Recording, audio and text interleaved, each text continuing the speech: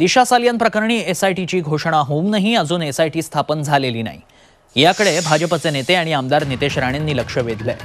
या प्रकरणातले खरे गुन्हेगार कधी विधान भवनात कधी राणीच्या बागेत फिरताना दिसतात असा टोला देखील त्यांनी लगावलाय. दिशा सालियनला न्याय भेटलेला नाहीये.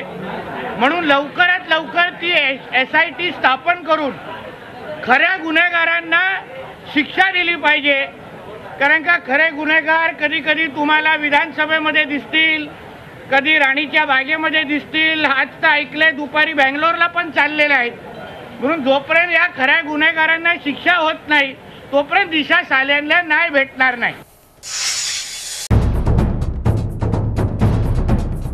सह्याद्रीची उंची म्हणजे